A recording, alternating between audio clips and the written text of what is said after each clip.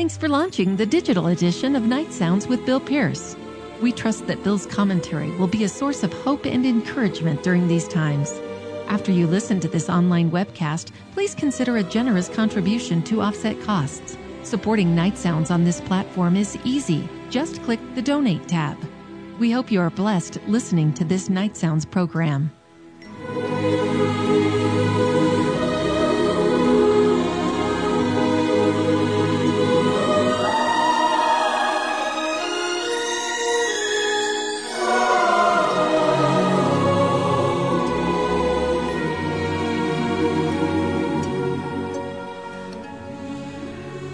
One thing I know for sure about you tonight is that you are absolutely unique.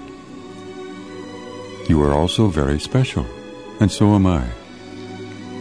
So, what do you say we special people get together for about oh, 28 minutes or so on radio here? Just in case we haven't met, I'm Bill Pearce, and I've had the joy of hosting this half hour for many years. And each time we gather together like this, I pick a different subject. We come at life from a different vantage point, dealing with things that we meet day by day, night by night.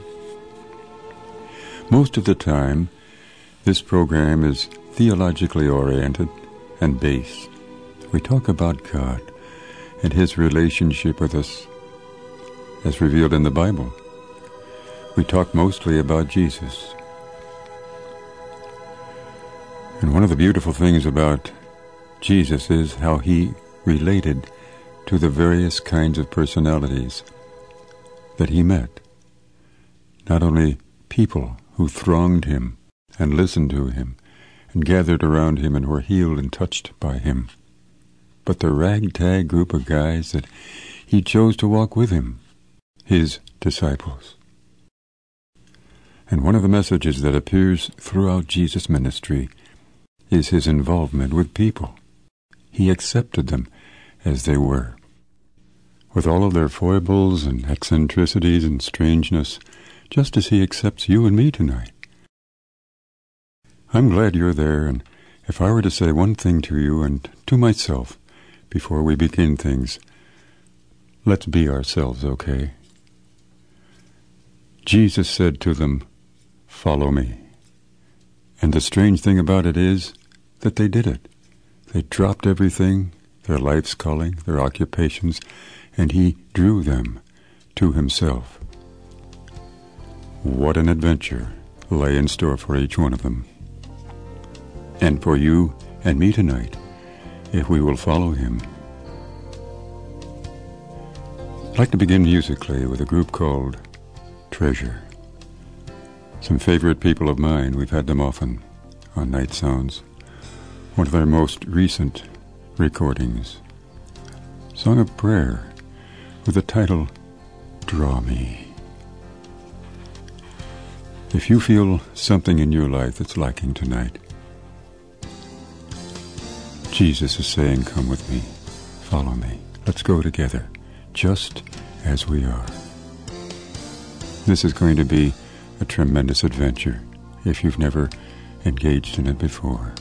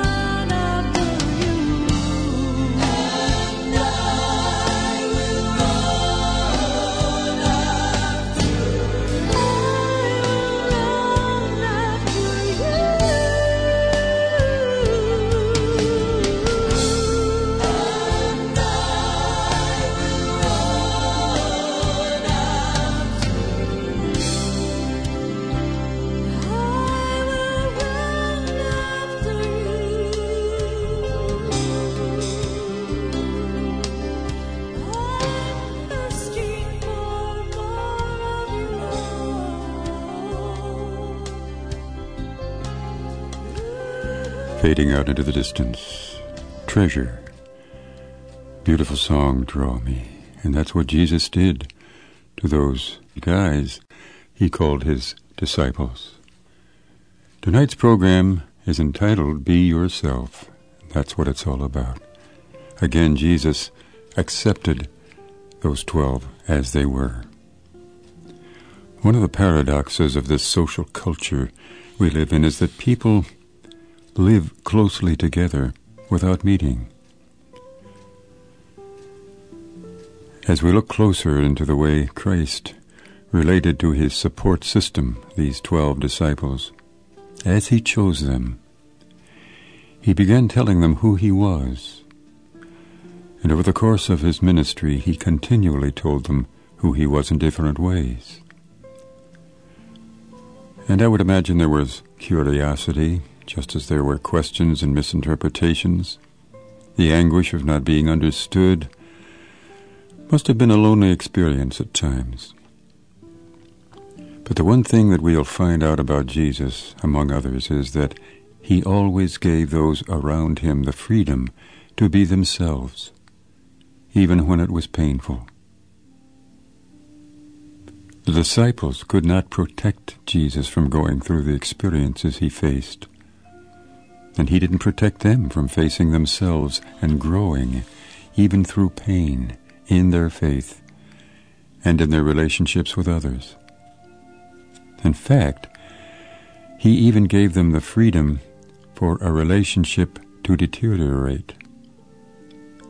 Judas didn't understand what Messiah meant. And too late he understood that he didn't understand at all. Jesus understood that people have different things to offer in relationships. There were some who offered him hospitality, others compassion. Still others offered him a retreat from the crowd. And people responded to Jesus in their own way and met various needs. Even the resurrection was met with the uniqueness of the individual. Mary, if you may remember, recognized his voice when she thought he was the gardener at the tomb. She uttered the first sermon when she said, I have seen the Lord. These words in John chapter 20 in the Gospels. John recognized his unique ability to catch fish when at first he thought him to be just another fisherman. And Peter, the rock, was not always the epitome of strength. He denied Christ three times. But the Lord of the second chance confronted him face to face with love, just like he will confront you and me. He offered the same invitation in earlier years Peter, follow me. Then we have Thomas, the doubter, the skeptic, responded to the resurrection with a question. He wasn't even certain Christ had risen. Jesus experienced diversity in relationships and appeared to value it. So tonight, He knows who you are and who I am, and He accepts us as we are. That's the beautiful thing about this relationship, and He is able to turn your life into harmony. He did it with me years ago. And I can't even explain how. I don't know the mechanics of salvation and conversion. But he met me where I was at my point of pain, and he accepted me. And as I began to grow through that pain, he still stayed there. He didn't leave me, and he won't leave you. Tonight's program be yourself. We might have some rough edges that need planing and sanding and smoothing. That's what it's all about. But the Lord Jesus Christ is able to make a warm fire out of a cold experience for you in your life. You know how it is in the winter when you come from the bitter cold outside and meet the warmth of a fireplace, and it's somewhat akin to salvation when we turn our lives over to Him when he says, Follow me, I'll give you rest. And I'll touch you with the warmth of my love in this cold world.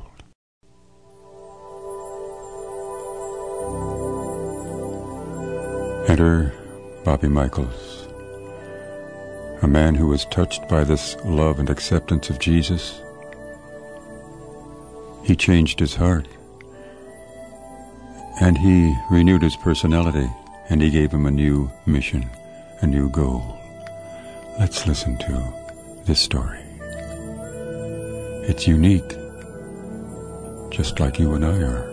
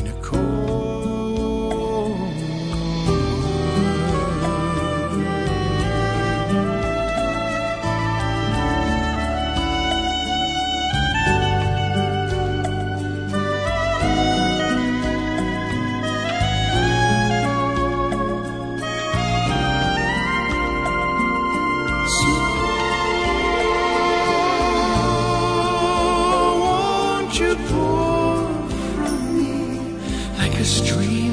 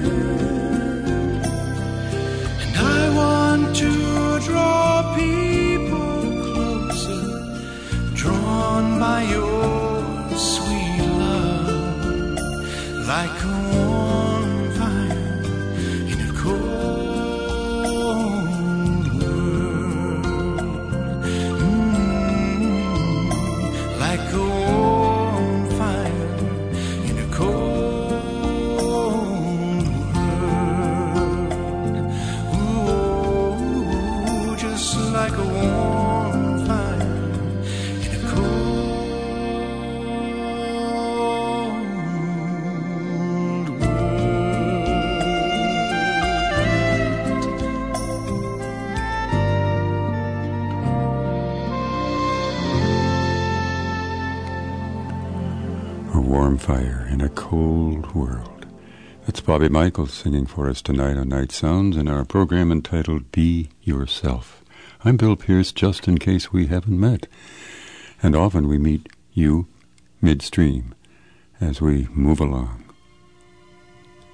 Take a moment's break here to enlighten you on the fact that Night Sounds, as it goes off the air in a few minutes, will remain with you through the forms of compact discs of the music of Night Sounds, the printed page, the opportunity of sharing with you in prayer. In case you're interested in joining this fellowship, our mailing address is Night Sounds, Wheaton, Illinois 60189. Our email location is Night Sounds Radio, that's one word, at AOL.com. We also have a website, gives you a little information you won't hear on the air, such as the title of our upcoming programs, where we can be heard in the country and out of the country, on radio stations here and there. There's a biographical sketch and some information about some of the other items of ministry. And our website is nightsoundsradio.org. Love to hear from you in this manner. Coming back to our subject at hand, be yourself. One of our listeners, Leona Choy, who's offered so much good counsel through her poetry and free verse, wrote a little item entitled Just Me. And she asked, Must I always be someone else's somebody? Can't I ever be just me? On the other hand, why should I struggle endlessly to find identity exclusively by being someone in isolation? Only God is the great I am, existent in himself alone.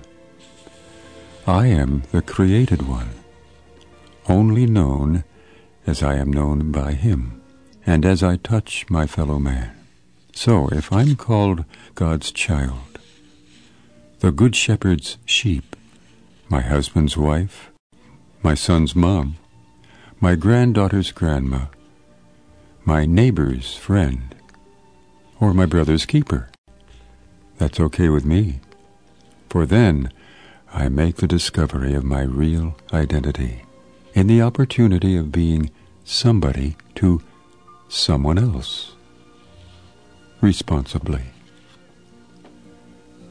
Tonight's program, Be Yourself, and that's the best person that you can be. We meet different people day by day if we mingle at all, and often we'll come in contact with someone who's not on our frequency, someone who may be even abrasive to us. We wonder why we're together at all may be a chance meeting like ships in the night. But when we touch that person, may we ask God to help us to be something special for each one, and to be an open channel through which, through whom, He can minister by His power. I'd like to play a song in closing. It's actually a selection that speaks of the future. One of the happy opportunities in my life was to play solo trombone with this group, I'd never met them. We did our recording piecemeal. We lay down tracks, and some years later I did meet them in concert. And what a joy.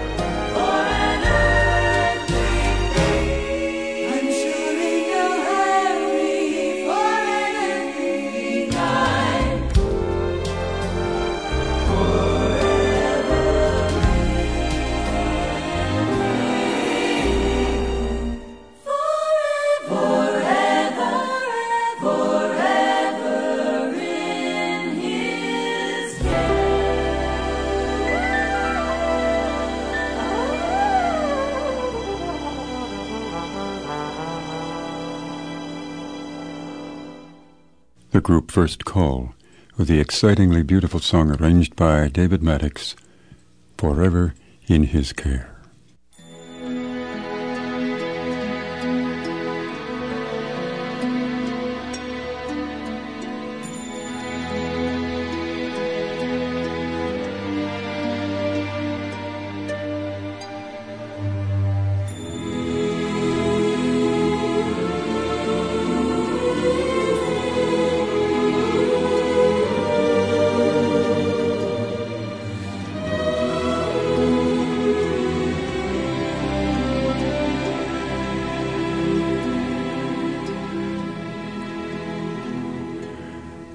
To say it once again, the best thing we can do for ourselves and for others is to yield that self to the Lord God. He won't change our identity. He's made us the way we are, but He will refine us, smooth off the rough edges, make us better people. I want to thank you sincerely for being there tonight, for being who you are. And I trust that in God's divine providence, this will happen again maybe on Night Sounds. So till we meet again, take care of you, be yourself, and good night.